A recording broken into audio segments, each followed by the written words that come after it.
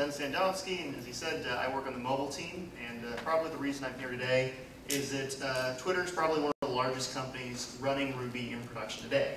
And uh, to give you guys some scope of uh, how large uh, we are right now, we've got about 110 million tweets coming in every day to the service. And because of the one-to-many nature of the relationship with Twitter, there's some multiple of this number actually being delivered every day. Um, the record so far for uh, tweets per second is about 6,939 tweets per second. And it came in on New Year's of this year. They actually uh, overlaid, you can't really see it too well and, uh, because of the projector, but that's an overlay of a map of the world showing some of the epicenters on New Year's of uh, where the um, largest bursts of tweet were coming through. That's pretty cool. You can check it out on the blog. Um, now, as far as my team put things in scope there, about 40% of those tweets coming in every day are coming in through a uh, mobile origin. Now, it could be coming in through, uh, say, a native app like Twitter for iPhone. It could be coming in um, uh, through uh, the mobile website, mobile.twitter.com, or it could be coming in through our SMS service, which is huge, especially in countries where smartphones aren't large. So Today, what I'm going to cover is uh, I'm going to go over the architecture uh, of Twitter in general so you can see where mobile fits into the big picture. And then we're going to show some case studies from the mobile team, just three areas where we're currently using Ruby, because uh, our team especially loves Ruby and uh, we use it whenever possible. Um, and they're pretty varying areas. Uh, and uh, of the three, we're probably going to dive into most detail on the mobile website because I assume most of the people here are familiar with use, using Ruby and Rails for writing web apps, so you'll probably get the most of that. Uh, we'll wrap it up by showing some of the best practices that I think will be uh, co-opted from uh, Ruby early in uh, the development of the company. I think that Ruby was a major influence in the engineering best practices. And we have some time, hopefully, at the end to answer any questions people have. Cool. So um, let's just get started by showing exactly the architecture and where mobile fits in. So let's say you pop up your favorite client, and uh, you type hello world, and you hit tweet. It goes into this big chart, which uh, we're actually going to break down into three chunks. So initially, you load up your client, you hit tweet, and uh, it's sent to one of our front ends. Uh, if you're on twitter.com, to our web front end, which is running Rails, uh, or to uh, api.twitter.com if you're on a native app, um, uh, which is also running a Rails front end. Or if you're on mobile.twitter.com, that's actually a 100% pure API client. So it's actually routing itself on top of api.twitter.com, so it's just a, a, nice layer of porcelain on it. So then, your tweet goes into the core code that handles all the uh, business rules. Who's following who, you know, uh, all the uh, lookups on the accounts, everything is uh, in one relatively large code base right now that's being split out into separate uh, service or uh, a service-oriented architecture. And uh, right now, uh, we're still in the process of decoupling all the front-end code from the core code, but this is the eventual architecture that uh, we're striving toward.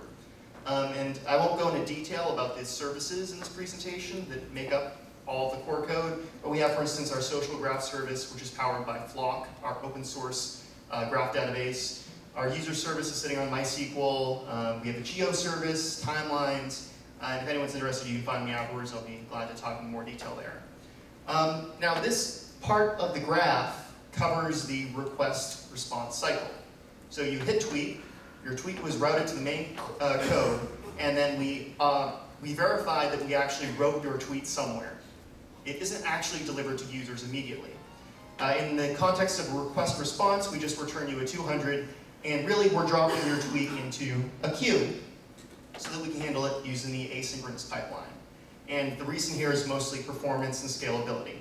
Basically, we have a, a, big queue full of tweets and a bunch of daemons on the other side of this queue popping tweets off one at a time and doing with them uh, what they need to do. So for instance, in the example of uh, sending a tweet, we have the timeline daemon, or the timeline fan-out daemon. So there's a daemon there that's just popping tweets off the queue, it's making a lookup in our social graph to see, okay, who's following this user, and then it's delivering the tweet into all of those followers' timelines. Um, we have other daemons, which we'll get into, like the SMS and push daemon, which pops tweets off the queue and checks, okay, does this user have a device attached to his account, or you know, uh, or is someone who is following this user, do they have a device attached to their account? Um, we also have the streaming API consumer, so if you're using the Firehose, it's popping tweets off and uh, fanning that out to Firehose consumers or user stream consumers. These are all just examples of three daemons. We have tons of them doing all sorts of stuff. So that's it in a nutshell. So we already touched a couple spots uh, where the mobile team plays a role, like at the very top, the mobile website, or uh, as I just showed a second ago, that SMS stuff.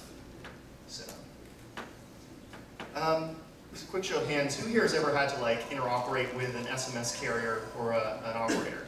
Okay, and when I say that now, uh, how many people here actually had to connect directly to the carrier? So you're not actually using Twilio, you're not using a third party. Okay, uh, a smaller amount of people.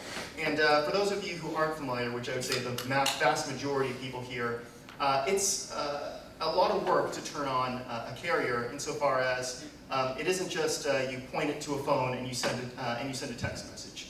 We actually have to first strike deals with each carrier everywhere in the world. So in the US, AT&T, Verizon, T-Mobile, but there's literally hundreds of carriers in the world, and for each of them, we have to set up first a business arrangement uh, saying, okay, here's what you can and can't do with users.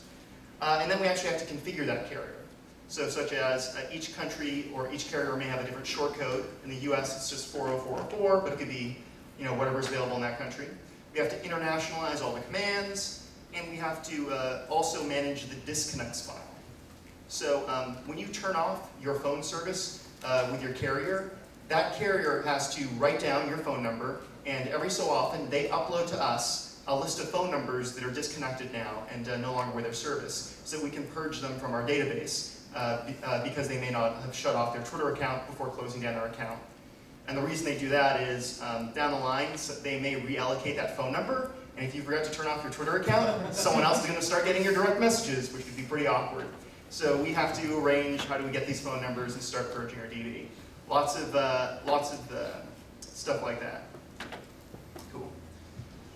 So, um, as for the code base, um, it's actually divided into two parts. There's the web service portion, which is uh, getting incoming SMSs from the carriers and uh, um, handling all the business logic around it. And then there's the outgoing uh, code, which is actually a set of daemons that are calling out to the carriers um, in some cases using like a SOAP-like interface. Some of them are using persistent connections. Again, it could be, you know, you name it, and some carrier is doing some completely different protocol for delivering SMSs to them. So um, the main code, uh, as I said, it handles a lot of product logic. We've, um, uh, in the case of uh, the daemons, uh, some of the product logic, when we pop a tweet off the queue saying this is supposed to go out to, uh, to a user, we check, okay, uh, is this device asleep? And you can actually set, I don't want to receive SMSs like from midnight to 6 a.m., so you your phone doesn't ring. Or um, there's any number of other configuration things that you have to perform at this layer before we push it off to the carrier. Uh, when we get an incoming SMS, we expose an endpoint so they can make a RESTful call just to post the incoming SMS message. And uh, incoming SMSs aren't necessarily just tweets. You can actually issue text commands like follow, uh, block, and all those commands. So we have to have that layer on top of it and uh, know how to respond inside this app. Um, the app itself is a Rails 2.3 uh, app right now. Uh, the logic's only about 2,500 lines of code, and it's actually a 1 to 1.5 uh, uh, code to test ratio. So there's actually more tests than there is code. So um, what's an example, though, um, going back, of some of the daemons that we uh, write to connect to these carriers? Well, uh, for instance, when we want to turn on Apple push notifications, all we have to do is subclass our daemon base class and override the method and put all the logic in there. We pretty much refactored all of our uh, daemon code into one set of core classes that shared across the entire company. And the big advantage there is that our ops team now knows how to monitor and uh, spin up new instances of these daemons whenever we need to. So it's all pretty much just one code base that's shared among all of the Ruby-based daemons throughout the company.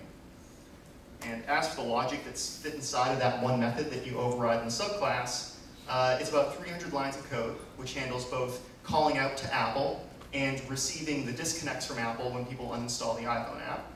Uh, it also has a number of sanity checks, so um, in a large distributed system, anything that can go wrong will go wrong. Uh, among other things, uh, we've had situations where uh, plenty of duplicate SMSs have come in where uh, that they expect to send out to users. So you might receive, let's say, like five SMSs from the same user, which, uh, you know, who knows what happened. Maybe a daemon was turned off at the wrong time, but uh, when you're dealing literally with hundreds of daemons spawned at once, anything that can go wrong will go wrong, so we have to put in sanity checks, uh, like to check against duplicates, because in the US, you're charged per SMS you receive.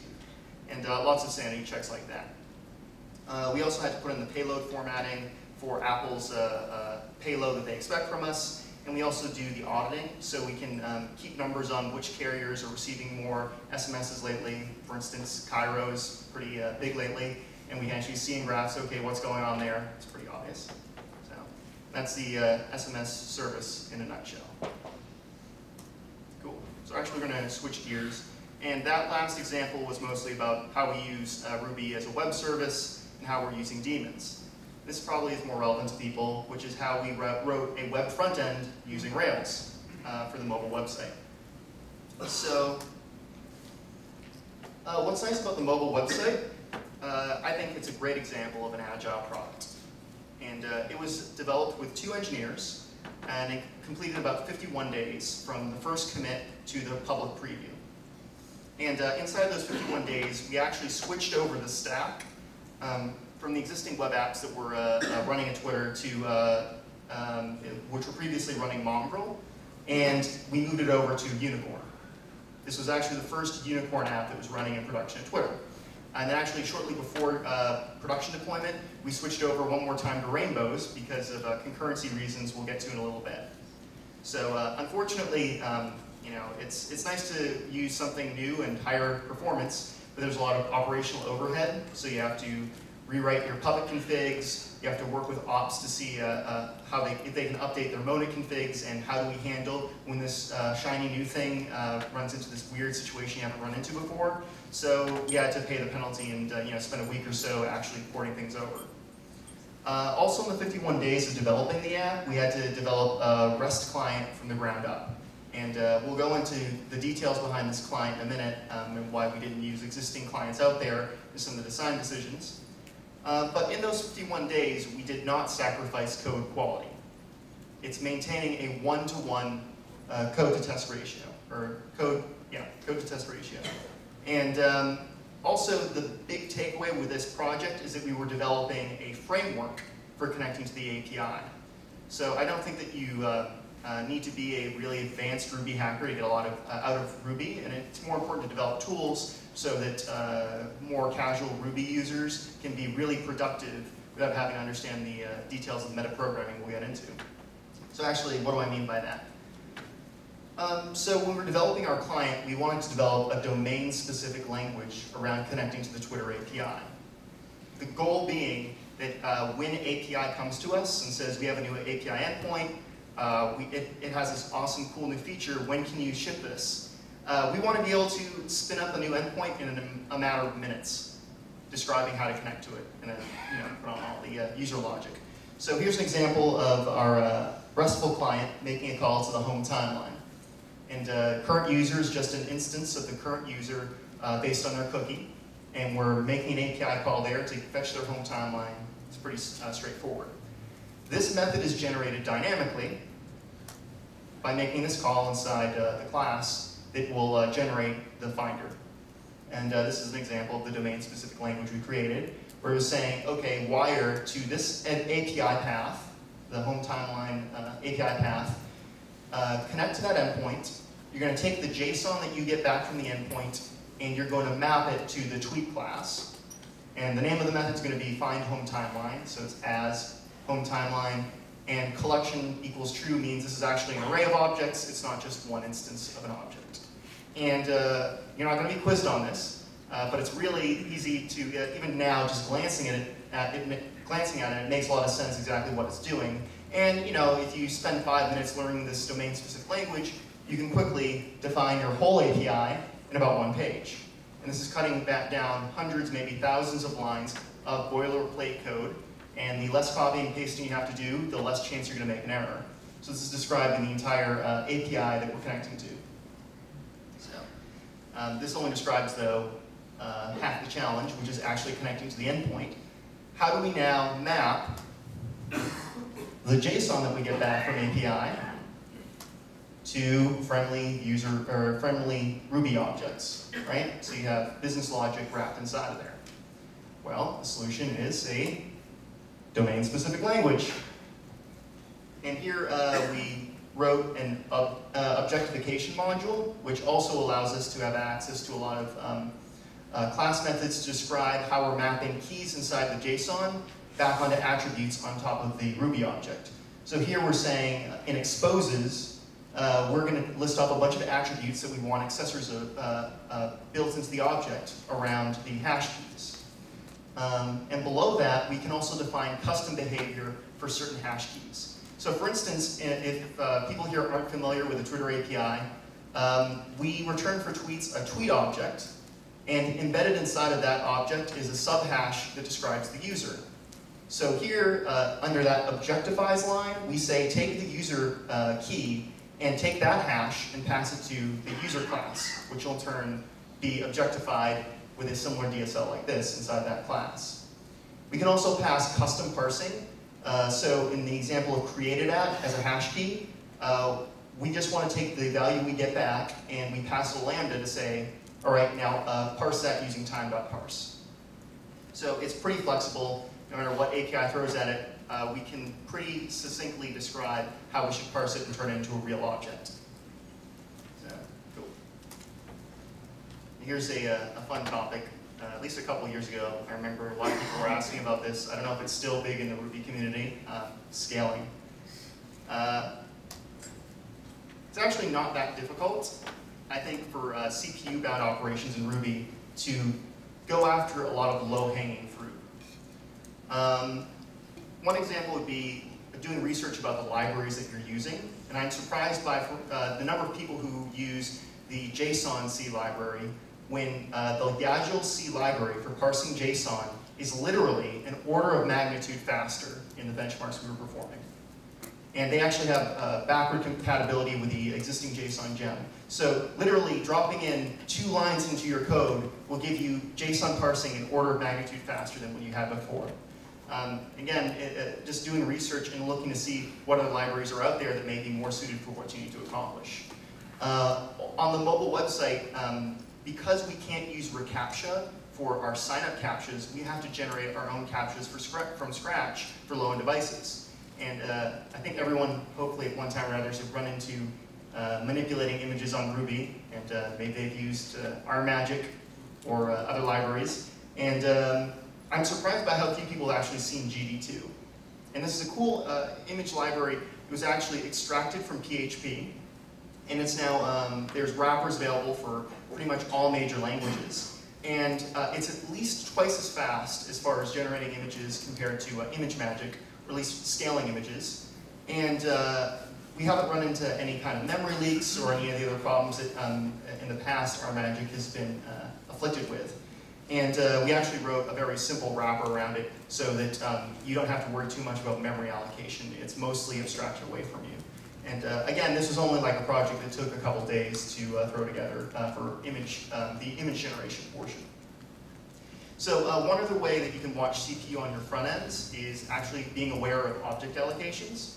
And uh, there's a misconception that I keep hearing over and over again that because you are using a garbage collector, you don't have to worry about memory management. That's all handled for you. And, uh, it, you know, facepalm. it's it, uh, talking to a really talented engineer from Google, uh, I asked him, well, you know, what about these systems like in Java that have a garbage collector? I mean, can you really tolerate garbage collection pauses when you're talking about the super high scale systems? And he said, well, actually, yeah. Uh, the thing is, Java programmers realize that there's memory management uh, still involved, and they're still just as uh, conservative about allocating objects and how we're reusing objects and you're still working, understanding when you're allocating uh, frame objects, it's just you aren't doing it by hand. And I think that um, you don't have to go in there and really drill in deep to see where am I allocating objects, but you just have to approach it from the mind, am I being conservative with uh, generating a lot of temporary strings? You know, what's the difference between saying string plus string versus embedding one string in the other? How many temporary strings are you generating? Things like that. As long as you're mindful of it, I think there's huge gains. But um, I'm talking a lot about uh, front-end CPU, but I think that uh, it's kind of a red herring when you're writing a web app. Um, I think that the first way that you can scale your app is being aware of concurrency and where you're actually spending your time in requests. So let's say you've optimized your app so that you can parse JSON and uh, perform all your business logic and spit back a rendered template in 10 milliseconds. That's awesome. What if you're spending 100 milliseconds waiting on API? Or you're waiting from your database? And in that 100 milliseconds, you're just sitting there twiddling your thumbs, doing nothing. So the end user, uh, that's 100 milliseconds wasted. Your server is going to reach capacity even though it's not actually peaked in CPU. Um, it's important to actually look, go into your app and see, well, how is most of my request time being spent? And it turns out, uh, in the app, when we were looking at it, most of our time was I.O. bound.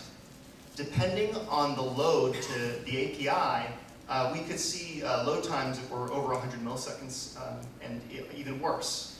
And it's amazing how much you can accomplish in 100 milliseconds. I mean, if you could just batch up your requests and you could accomplish 10 requests in that 100 milliseconds while you're mostly twiddling your thumbs, you now have 10 times more capacity. That's hand-wavy math. Uh, so uh, Ruby, unfortunately, uh, um, has, I don't know, there's a, a, lot of people have complained about its concurrency model. Um, there's a great, great, great article, uh, Concurrency in Ruby uh, is a Myth. You should all Google it, where it talks about fun things like the global interpreter lock. So when you're calling out to C code, your threads pause and lots of fun things like that. And I won't go into too much detail, but we researched different solutions, and we settled on, uh, for connecting to our API, we're using a library called Typhoeus. And uh, among other things that this library gives us for making RESTful requests, uh, one, it's a libcurl binding, so it's very performant. Specifically, it's a libcurl multi-binding. And especially interesting is that it respects the global interpreter lock, and it will not pause all of your green threads while it's waiting on responses from API. So what we ended up settling on is we built our RESTful client around Typhoeus, and uh, then we turned on multi-threading mode in Rails. And uh, we switched over to Rainbows, and we're using green threads. So, um, one caveat is that uh, it's very difficult to work with concurrency in general. Uh, there's different paradigms, uh, you know, event-driven programming, uh, there's functional programming, uh, there's uh, different ways of thinking about um, handling concurrency, and in the interest of keeping things simple, especially for developers who are used to more uh, synchronous programming, we wrote, again, a very simple, um, I don't even know, if you call it a domain-specific language around issuing concurrent requests. And here's an example, where basically, when we issue each of these fines, we're not blocking. We're actually returning a proxy object. And it's not until we uh, call the fire request method that we drop down to Typhoeus, batch those three REST calls into one libcurl multi-call, and we suspend the current thread in Rails. And while it's suspended, other threads are still running and uh, receiving uh, calls from um, incoming requests. So, and then when this resumes, those three objects will be filled in with the actual responses from API. And this is actually a pretty simple way of uh, thinking about concurrency rather than throwing lots of lambdas everywhere and worrying about syncing and all that sort of thing. Cool. All right, switching gears one more time uh, to probably the least conventional way that we're using uh, Ruby on the mobile team is as a uh, testing harness. And um, I don't know if anyone here has ever tried automated testing on Cocoa or uh, on iPhone because it's, I don't think it's nearly uh, as mature as uh, the Ruby testing community. I mean, there's uh, so many great frameworks available and great tools. And um, you know, one solution would be port a bunch of these tools over to Cocoa. You know, that'd be cool. Um, or be really lazy and just run Ruby. And uh, it turns out that the core code that's uh, running on the iPhone, iPad app, and the Mac app is actually just vanilla Cocoa. It's just uh, straight up regular Objective-C, and it's not dependent on uh, iOS frameworks for all the core business logic, like how do we handle user accounts, how do we tweet, that sort of thing. And just so happens that MacRuby plays very well with Cocoa. Uh, and it has a nice one-to-one -one mapping, so you can treat Cocoa objects just like Ruby objects. And matter of fact, in the latest version of uh, MacRuby, they even have built-in uh, support for, uh, I believe it uses Minitest. So it was pretty easy to develop a test suite and treat uh, these Cocoa objects just as regular old Ruby objects and slap on a simple UI using Interface Builder. It only took about an afternoon, and we're working to actually integrate this inside of a continuous integration. So whenever we uh, push a new um, update through Git, it'll automatically run on the continuous integration server and you know everything you expect. Cool. So, part three. Um, the best thing I've heard about uh, company culture is that it's like cement. And that uh, while the cement's wet, it's very easy to sculpt and change, but as soon as the cement's dry, uh, it's not going anywhere. And uh, the way I interpreted it, that was about general company culture, but the way I also interpreted it is about engineering. And uh, we were very lucky. Uh, the company early on had very enthusiastic Ruby developers, and with the Ruby community, uh, had a very strong culture of certain best practices such as automated testing and agile methodology. Um, and also with the help of uh, Pivotal Labs, they drove home a lot of the agile techniques. I think that um, a lot of the philosophies of Ruby are more important than the language itself. I think one of the great things about Ruby is the community, and we're all here to get stuff done, and we care a lot about the product. And I think that's influenced our team. So this is just an example again from the mobile team. Each team might be different. But uh, we believe in having small, agile teams, almost like a startup. And uh, on our particular team, we have one product manager, uh, one designer, and three developers, all working on the iPhone and iPad apps. And uh, having worked at different companies uh, which have you know, a massive scale of users, I've never been on such a small team that's had such a large reach for the app that they're working on. It's really exciting. But uh, I'm especially excited that we understand, you know, you don't throw people at a problem. Um, also, uh, it encourages uh, communication when you're in that small of a group. I can just turn my turn over to the guy sitting next to me, ask him a question. It's very easy to communicate among our small team. Um, we also practice iterative development. So in this team, uh, every week we have an iteration planning meeting, and uh, with the help of Pivotal Tracker, how many people here use Pivotal Tracker? Okay, you're all awesome. And if you aren't using it, you go try an account right now. I think it's still free, but it's totally worth every penny. It's a great agile tool. And using Pivotal Tracker, we write out the user stories. And uh, these are the features that we want to accomplish this week. Or we write out the bugs that we want to fix. And then we can score them, drag and drop them. Uh, this is probably boring for people who already use Tracker. But uh, based on how we score these stories, the release will uh, move uh, based on the points that are uh, left. So we're always fluctuating the release date, and we aren't trying some rigid waterfall approach, and uh, it's really exciting. So one last part about agile uh, development is that we believe in uh, continuously shipping code. Uh, on the website, on twitter.com, and on the mobile site, we are deploying every day. On twitter.com desktop, actually, there's an average of three deploys every day. Uh, I think the record has been about seven deploys in one day. And uh, inside each of those deploys are between 10 and 30 feature branches going out. So um, this requires a lot of process for this to work. For instance, our rigorous test suite, which uh, alone would take an hour to run if you were to try to run our test suite, but we have it parallelized so it takes about two minutes because it's going to a fleet of uh, testing machines. Um, we have a number of processes in place around uh, um, releasing products. We canary deploys, so they only go to a subset of the servers, and we monitor metrics before we spread them out to the whole fleet. But uh, we have a lot of processes in place that uh, ensure that um, we don't run into any problems with this. But we believe it's all totally worth it to be able to write a feature in the morning, get a code review, and then ship it that afternoon. That's really exciting. So. Cool. Um, actually, uh, native clients are a little more difficult for continuous uh, deployment because of the nature of the beast. Uh, one compromise we've had is that actually we do weekly releases internally to employees. Um, it's nice on the iPhone, if you have an enterprise account, you can do over-the-air updates. So every week now, after iteration planning, we say, all right, let's cut that release, and we uh, make a build, and we push it out to employees on their iPhone, so that we're constantly getting feedback. Cool. So hopefully if I've done my job, you're really excited about the company, you're wondering how you can work there. Uh, and actually, the segue though, um, honestly, one of the most important things about your engineering organization is who you have on your team. And uh, in our mobile team, we care about a few things. I don't think it's worth a bullet point, but we obviously care about people who technically know what they're doing. But uh, you know, beyond that, we care about people who are passionate about the product. And you can tell when someone uses the product every day and they really get it what we're trying to do. And uh, we really like those people. We watch for open source contributors. If you have GitHub on your resume, you've got your foot in the door. Uh, we love seeing open source, and even if you don't do open source, in a similar vein, if you're working on personal projects. You've got a really cool startup and you're just trying out to see where it goes, doing cool weekend projects, if we see that, that's a big flag that this person probably is passionate about what they do. And uh, finally, um, I think that this is the first company where I've uh, been at where uh, culture is one of the, the major uh, points people try to drive home when they're hiring. Um, we will gladly turn away an applicant who is outstanding technically, but it's clear that, that uh, they wouldn't click with the team.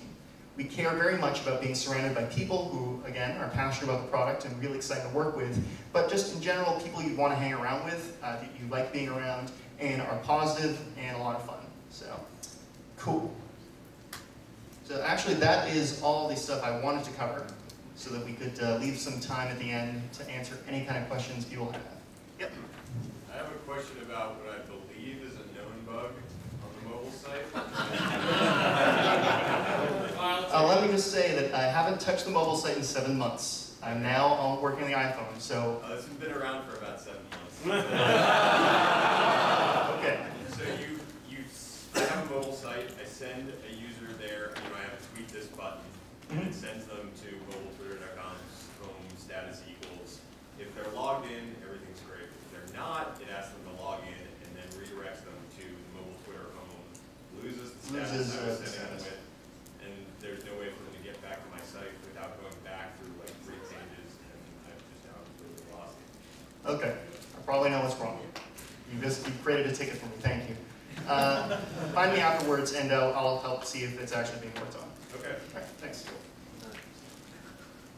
Um, do you guys do full stack mobile dev uh, in your team?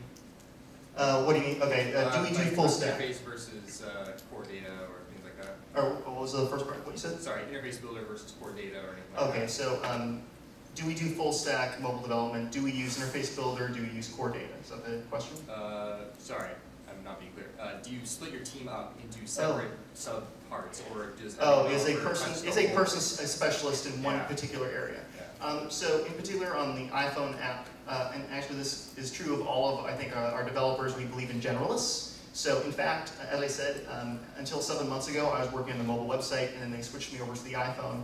And uh, we actually have another developer who's working on the mobile site, who's going to be working on Android. So um, I believe uh, we certainly want to avoid the bus danger, where one guy gets hit by a bus and they contain all that knowledge and we're kind of screwed. So um, in general, we try to rotate people around. Uh, and I think that we all have at least some knowledge of the different areas. But for instance, um, uh, I've been lately working on uh, a feature that involves using SQLite. And because I come from a web development background, I'm able to write SQL pretty well. So they're like, all right, why don't you work on that? Um, one thing that we didn't cover is, uh, and this goes into the generalist um, aspect, is that in order to ship features, we believe in code reviews. So before you can merge your code into the main code base, you have to upload a diff to a, a review board, and a teammate has to write ship it on it. And part of it is also, that, well, part of it so that you get two eyes on the same code, so you aren't making an obvious mistake. But indirectly, it's educating other people on what's going on in the code, so they kind of have to know what's going on in order to give you a ship it, hopefully. With respect to code reviews and the, your significant testing setup, how do you deal with the taxation involved in, okay. time? So, in, your question is in in relation to all the process, code reviews, and testing, uh, how do we deal with taxation and time? And I think that, uh, one, it's dependent on the team. So some teams are more rigorous about unit testing than others. Um, so we, to a degree, leave it a little to the discretion of the team. As a company, we strongly encourage unit testing. But I think that what's important is that all of these uh, best practices have tools built around them so there's minimal taxation.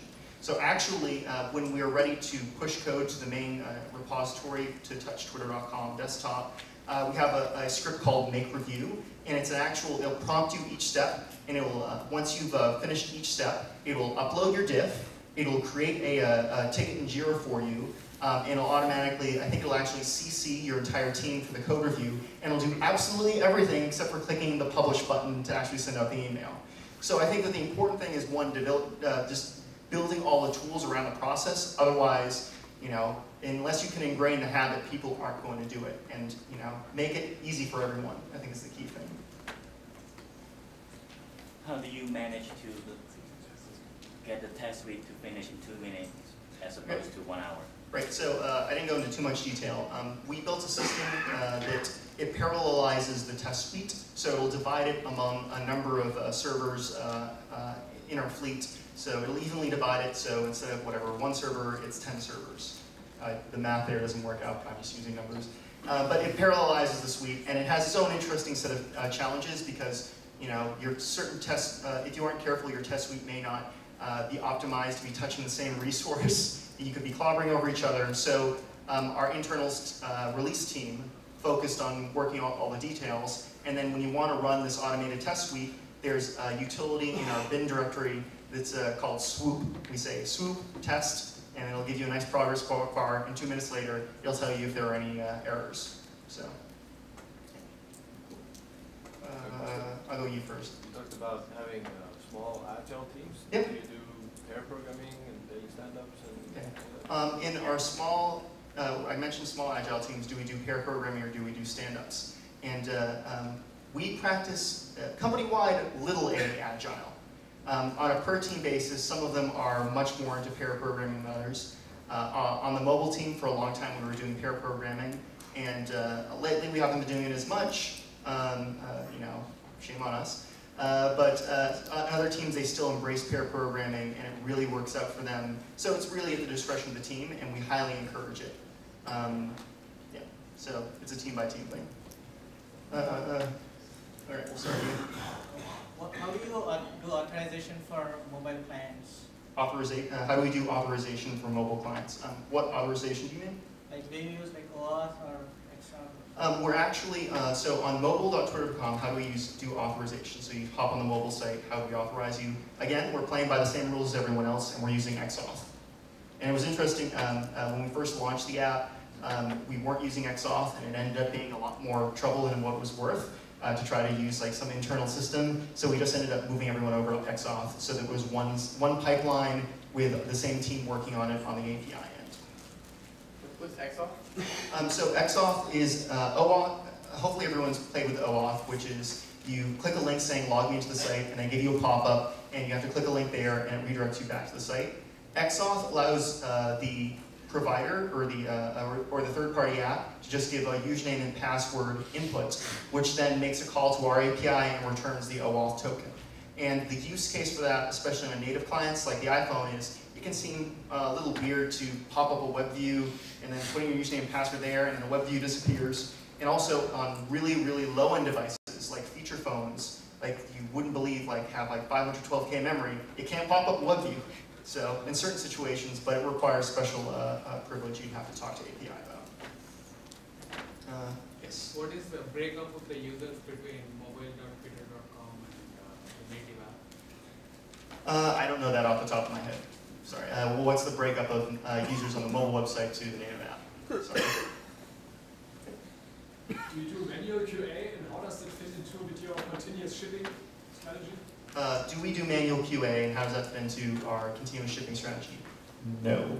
We don't do any, uh, we, insofar as we don't have a team of people clicking on buttons to uh, uh, make sure that, yes. well, uh, however, um, what we try to do though is instead all the employees, for starters, you own your product. And there's a danger if you do have a QA team is you can fall into the pattern of, all right, I'll just throw this over the wall and let them handle it. Um, so especially on the iPhone app, there's a certain level of ownership among all the people on the team where uh, at all times, for instance, we're running the latest current build. So as soon as we run into a bug, we're fixing it, and we're expected to do all the responsible uh, QA ourselves. Hopefully build automated testing systems around it so it doesn't become so repetitive.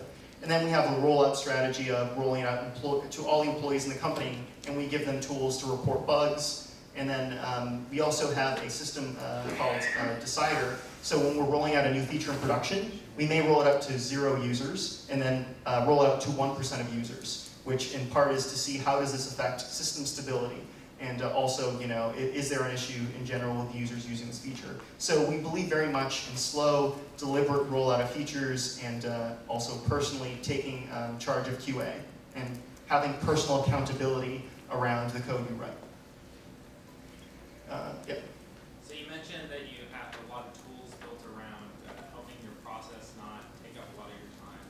One thing that I know with a lot of agile processes is making sure that you are able to adapt your process efficiently to changing needs, changing demands, uh, team members, whatever, can really influence how your team interacts. How do you ensure that these tools uh, don't lock you into a process that make you less efficient? And or how do you allow them or have them allow you to experiment with process? Okay, so the question is how do we make sure that the tools, if I understand, aren't having too much control on how we do things? Like, uh, we're not being locked into one regimen based on the tools. Is that Right. Okay. And I think that, again, it goes back to each team has a, a certain uh, level of leeway as to how they get things done.